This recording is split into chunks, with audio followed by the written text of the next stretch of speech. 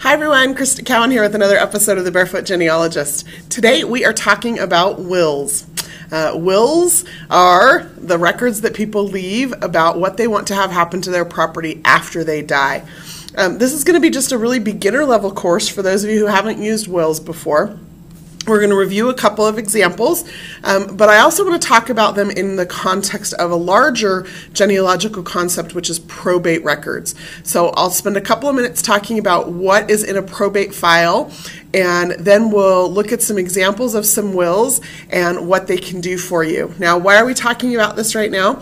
Well, first of all, there are quite a few wills and will abstracts available already on Ancestry.com. Um, I think I I checked earlier, and I think it's like 14 million of them. And so um, we want you to be using those because they're really like this really rich genealogical source, um, particularly for families prior to 1850 um, when the census records become really scant. And so um, I want you to be using them. I want you to become familiar with them. The other reason is that a little more than a year ago, our CEO announced at the Roots Tech conference that Ancestry.com, over the course of the next several years, will be digitizing and indexing an entire probate, all the probate records currently available for the United States um, in conjunction with Family Search. Family Search has microfilmed all those records. Ancestry.com is going to digitize and index those and put them online. And so we just want you to, to become familiar with them because you're going to start seeing those come online here shortly, and we want you to be using them. So let's review uh, what uh, is included in probate files, and then we'll look at some examples of some wills. Let's dive in. Let's talk about probate records. So, a probate file uh, is what many of you are going to find if you went to a county courthouse and asked for a probate file about your ancestor. Here are some of the things you're going to find in that. First of all, you're going to find wills. If somebody left a will, that means that um, they they were a testator, that they um, created a document that listed what they wanted done with their property. Now, if they did not create a will, that means they died intestate, but that doesn't mean that there won't still be a file. So just because they didn't create a will doesn't mean um, that a file doesn't exist. So there's lots of other things included in that pro- in that probate file. Another thing would be an appointment of executors or administrators. So, who is going to um, be the executor of this will? Who's going to be the administrator of the property? Okay. Um, a petition for guardianship will be included likely in that probate file. If the person who died had underage children, even if the mother of those children was still living, there would be a petition for guardianship. Now, the mother might be appointed as the guardian. The purpose of this is not like we think of guardianship now. The purpose of guardianship is to make sure that the children's um, that the children are represented in the process of probating this person's estate to make sure that their needs are um, are represented. You will also likely find in a probate file an estate inventory. Whether the person died with a will or without a will, uh, their property still needs to be properly inventoried so that um, so that it's known or understood what needs to be distributed. And then that brings us to the next thing, which is um, the distribution of assets. Whether that distribution of assets is in accordance with the will or if there was no will, if it needs to be determined, there's going to be um, likely an inventory of that. Now, who's going to have a probate file? Both men and women will likely have probate files. Um, uh, and oftentimes even wills. Even though there are times and places in history where women were not allowed to own property in the sense of land, um, sometimes they still had um, had things in their own possession that they could will or that they needed to will. It uh, is for people who are landowners or not. So just because you think that your family was poor um, and did not own land, which is usually the, the equation there, uh, does not mean that they won't have a probate file or a will. They still might. And the biggest um, benefit of these uh, for genealogical purposes is to look for some of those relationship clues. So let me just show you where on Ancestry.com you're going to find these records, and then let's take a look at a couple of examples. So on Ancestry.com, you're going to go to the um, ever useful card catalog. If you hover over search, card catalog is going to be the bottom option. Go ahead and click on that. Let me make my screen a little bit bigger here. There we go. Over here on the left hand side, you're going to see filters by collection. Okay, and you're probably used to those. You've probably used them at some point. But we're going to come down here to tax, criminal, land, and oh, look, there it is, wills. Okay, click on that. That's going to uh, narrow or filter your list of databases down from 30 some odd thousand to 1100 and some. Okay, now we can continue to filter further down to wills, estates, and guardian records. And that's going to take us down to 369 databases. Now, the card catalog always filters by popularity. You can change that to filter it alphabetically or put the newest stuff on the top of the list. It's up to you. Or you can just continue to use these filters over here. You have the option to filter by location or to filter by date. And you can do that by century or by decade, either one. So that's how the card catalog works. In this case, um, we're just going to take a look at a few different titles here so that I can explain to you what some of the different kinds of things are that you're going to see. This top collection here, 12.7 million records, it is a national probate calendar for England and Wales. It starts in 1858 and it goes through 1966. Now, a probate calendar, we've put this in parentheses here so that you understand, is just an index of the wills and administrations. It's not an actual copy of those exact records. And so I can do a search in here and I can see, um, let's just pull up an example here. This is going to be a published book that is an abstract or an index of the records that um, that are the actual wills and probate files. Keep in mind that actual wills and probate files can be anywhere from, you know, 1 to 60 or 80 or 100 pages long. And so to, to digitize the full probate files is no small task. And so in the case of England, what the, what the country did, what the National Archives did, um, they created these probate calendars so that people could know that a, that a probate file existed so that they could have a general idea of what was included in it and if this was their person or not, so that they could then order the original file or go go to the record office to look at the original file.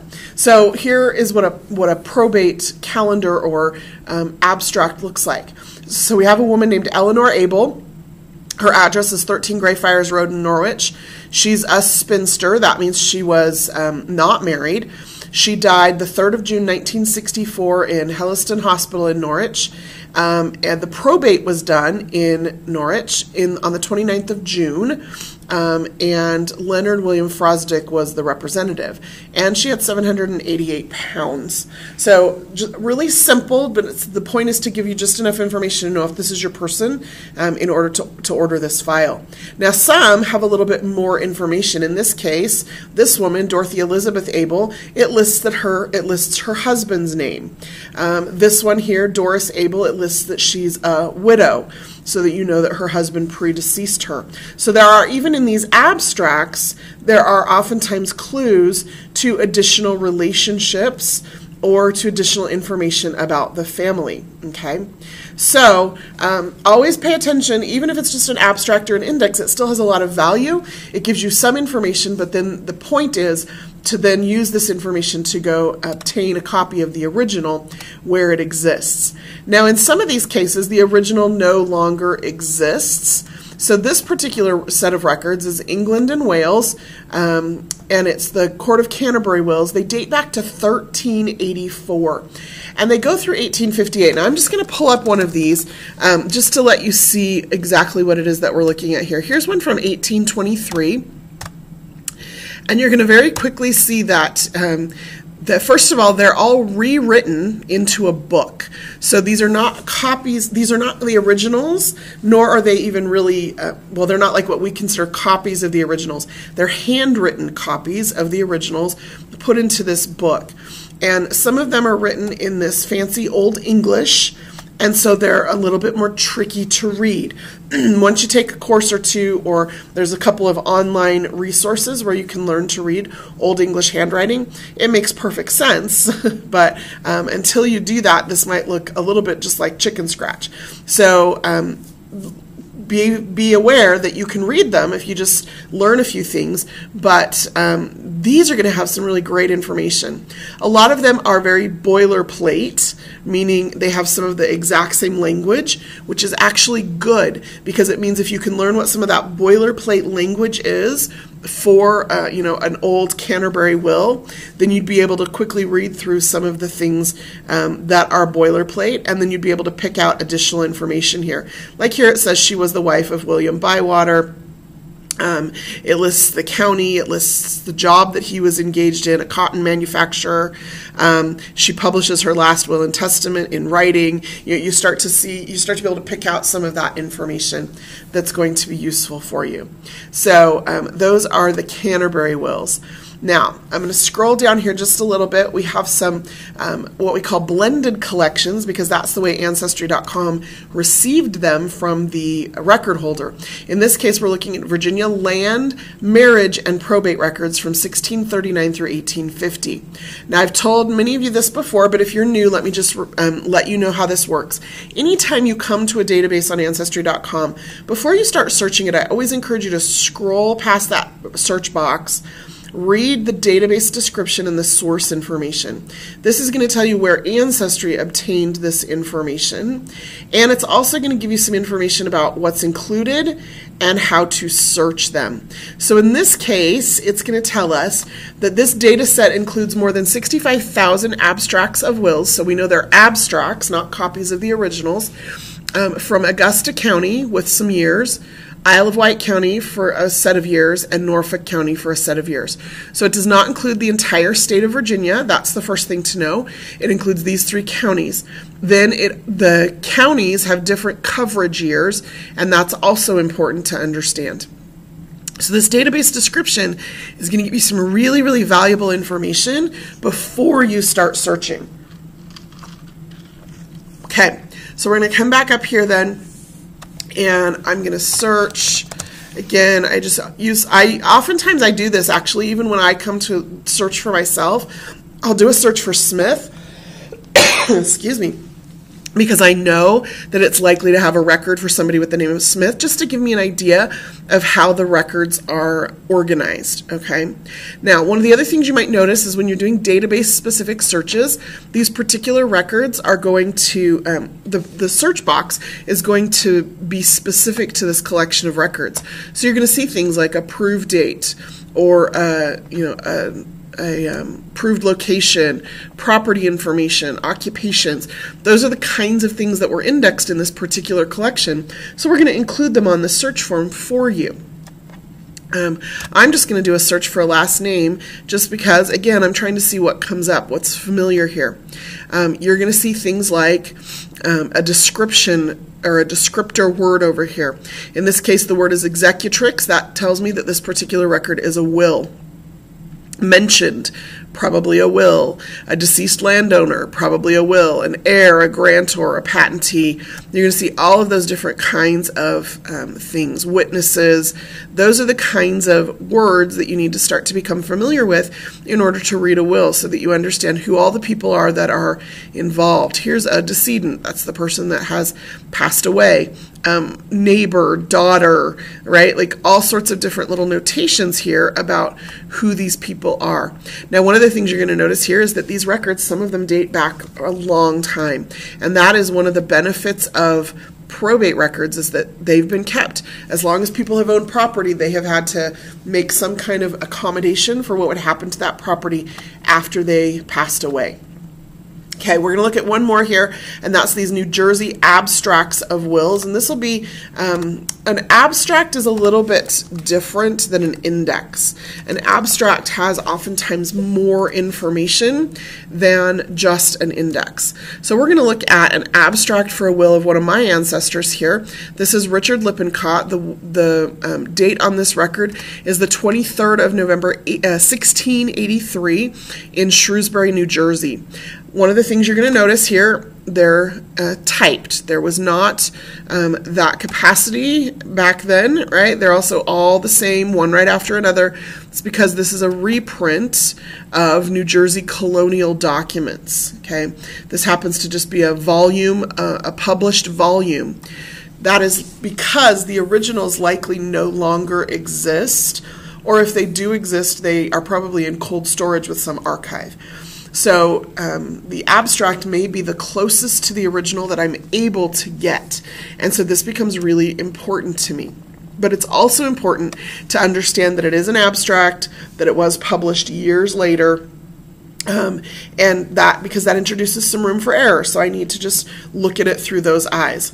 Now, here's this November 23rd, 1683, Richard Lippincott of Shrewsbury will of. Um, so it's the will of Richard Lippincott of Shrewsbury. His wife's name is listed as Abigail. His sons are listed as Jacob, Freedom, Remembrance, John, and Restore, with a daughter named Incarnation. Now, interestingly enough, they've um, whoever created this abstract put the word increase in parentheses with a question mark.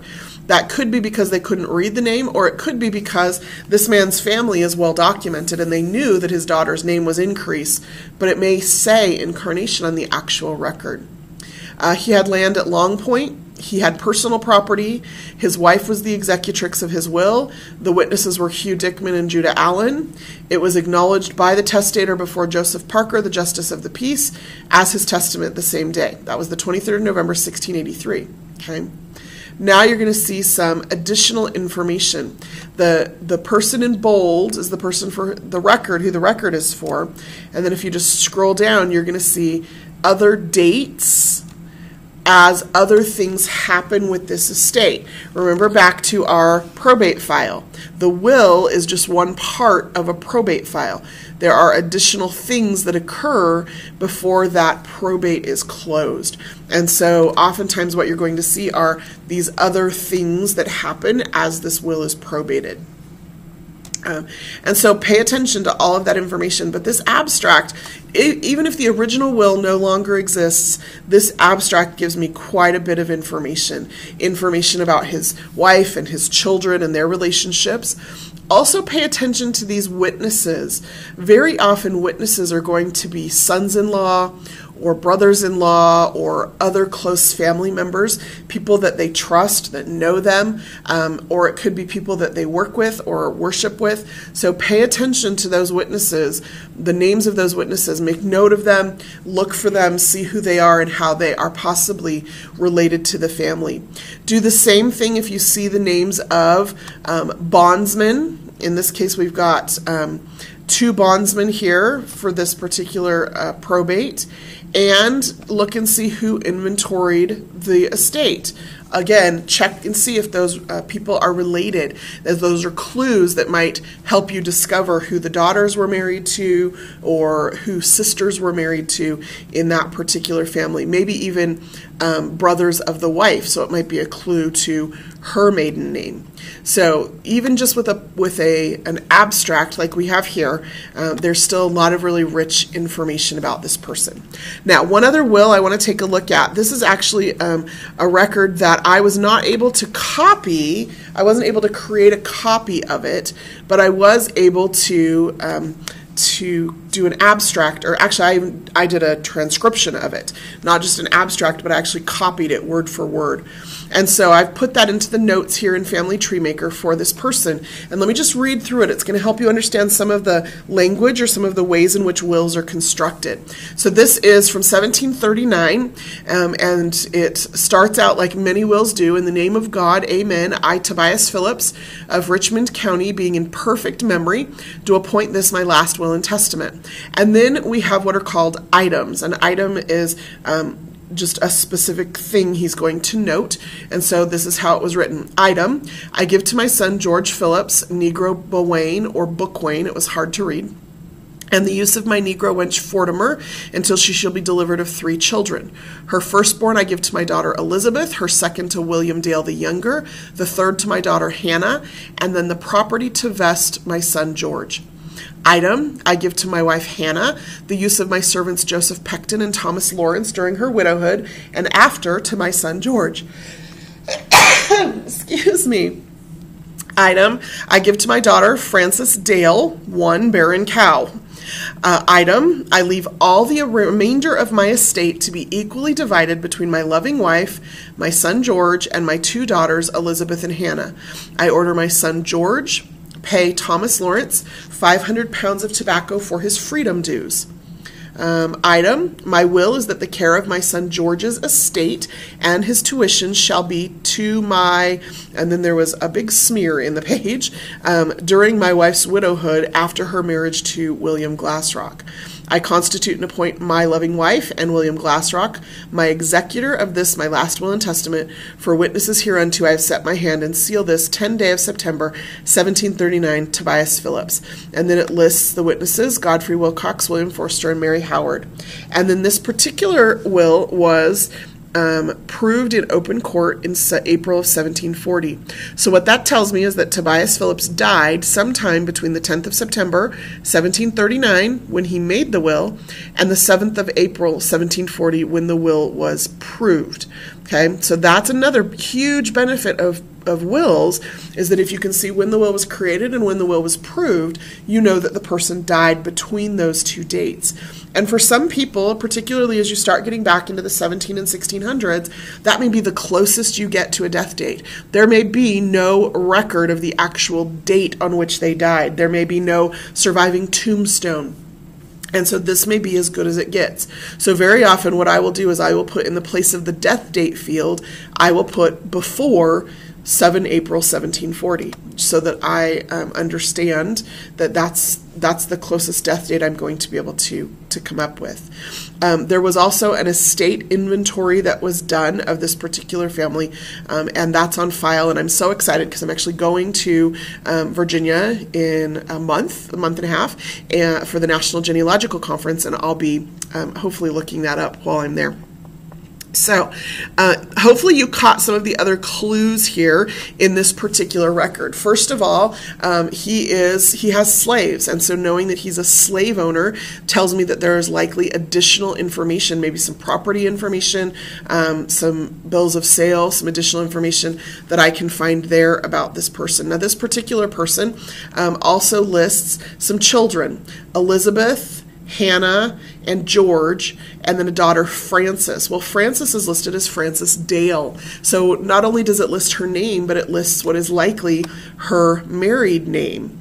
Okay, it, it further bears out in that she, he gave to William Dale the Younger um, one of the slave children. And so that leads me to believe that William Dale is likely the son of Frances Dale. He didn't think much of Frances, he gave her a barren cow, but William apparently holds a little bit um, higher value in this man's eyes. Now, um, he also has not just slaves, um, Negro slaves, but he also has servants. And this is where this particular will was of interest to me. Thomas Lawrence is one of my ancestors. Um, and Thomas Lawrence had a mother whose name was Margaret or Maggie Lawrence. Maggie Lawrence was from England, and she um, committed a crime. She was sentenced uh, to prison. She was in prison. While in prison, um, she was further sentenced to be shipped to America as an indentured servant, and Tobias Phillips is the man who purchased her indentureship. And so um, she was his servant. She did not uh, live very much longer after she got to the United States. However, she had two children, uh, two sons, John and Thomas. And we are very, um, we're, we're pretty certain that Tobias Phillips fathered her two children.